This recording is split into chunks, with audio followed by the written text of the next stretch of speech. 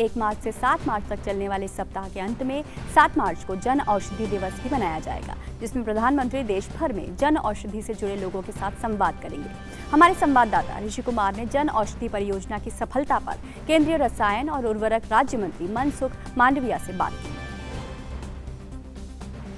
वंचितों के लिए सस्ती दवाइयाँ हों, इसके लिए सरकार ने जो मुहिम शुरू की थी, आज वो कितनी आगे बढ़ी है? प्रधानमंत्री, भारतीय जन औषधियों के ज़रिए इनको कितना आगे ले जाया जा चुका है, इस पर हमारे साथ बात करने के लिए मनसुख मांडविया जी हैं। सर, जिस तरीके से अब तक इस पूरी मुहिम को हम देखें तो काफ़ी सफलता से आप लोग आगे बढ़े हैं। आपके हिसाब से ये जो लक्ष्य थे, जो योजनाएँ थी, कितना आगे बढ़ी हैं और अब तक हम कहाँ पहुँचे हैं? मुझे खुशी है कि मोदी जी के नेतृत्व में, जब 2014 में मोदी वन गवर्नमेंट बनी उस वक्त मोदी जी ने कहा था कि मेरी सरकार गरीब, शोषित, वंचित और पीड़ितों के प्रति समर्पित रहेगी। और दूसरा मोदी जी ने एक बात कही थी कि देश के कोई गरीब बिना दवाई मिलने से मृत्यु की नौबत नहीं आनी चाहिए। इस बात में से ये जन औषधि परियोजना निकली हुई है। मुझे खुशी हो रही है कि देश में 700 डिस्ट्रिक्ट 728 कुल मिला के देश में डिस्ट्रिक्ट है। उसमें से 700 डिस्ट्रिक्ट में हमारी प्रेजेंट है और 6200 जन औषधि स्टोर है। पर डे ढाई से तीन लाख लोग जन जन औषधि स्टोर की मुलाकात लेते हैं।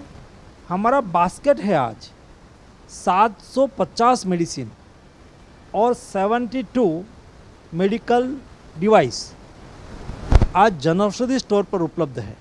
युवाओं की जो भूमिका है इसमें रोज़गार को लेकर वो काफ़ी आगे दिखाई देती है। और साथ ही साथ इसमें अगर महिलाओं का हम ज़िक्र कर लें तो महिला सशक्तिकरण भी इसमें जुड़ा है क्या? आपका सही प्रश्न है। क्योंकि कोई भी कारोबार चालू होता है तो रोजगारी का सर्जन होता है। छः हज़ार दो सौ जनऔषधि केंद्र चल रहे हैं। एक जनऔषधि केंद्र पर मिनिमम चार लोग काम करें तो भी पच्चीस हज़ार लोगों को उसमें प्रत्यक्ष रोजगारी मिली। मतलब पच्चीस हज़ार लोग एक फैमिली में चार पाँच लोग हो तो सवा लाख लोग मतलब एक सारा टाउन जैसे लोग वो ये उसकी आजीविका चल गई। ये बहुत बड़ी बात है। युवाओं को रोज़गार भी मिला और युवाओं को काम भी मिला और गरीबों को सस्ती दवा भी मिली। महिलाओं की भूमिका को कैसे आप सुनिश्चित करना चाहिए उसमें कई महिलाओं ने भी जन औषधि स्टोर शुरू किया है।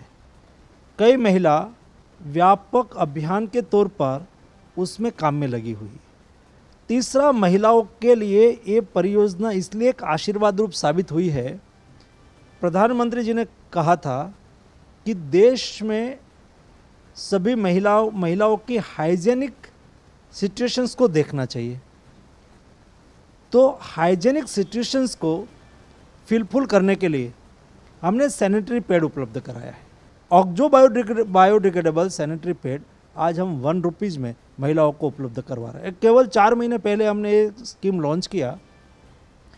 आज तीन करोड़ सैनिटरी पैड बेचा गया है। कहते हैं किसी भी काम को तभी और ज़्यादा सफल बनाया जा सकता है जब वो जन जन तक पहुँचे। चूँकि जन आरोग्य में जन जुड़ा हुआ है तो इसके प्रचार प्रसार को लेकर आप लोग किस तरीके से काम करना चाहते हैं? क्या क्या योजनाएँ हैं उसमें?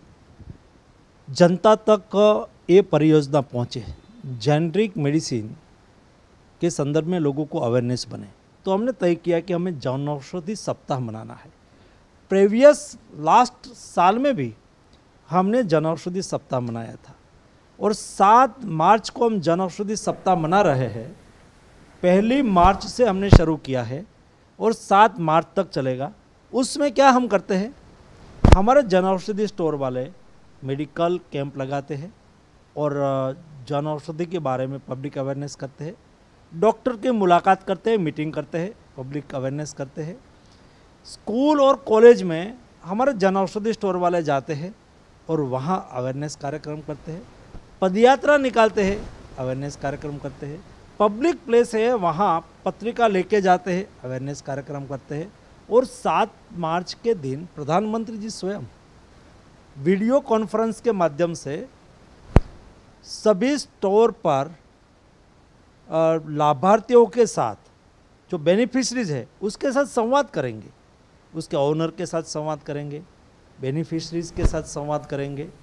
और ऐसा करने से एक पब्लिक में व्यापक उसके संदर्भ में अवेयरनेस होती है।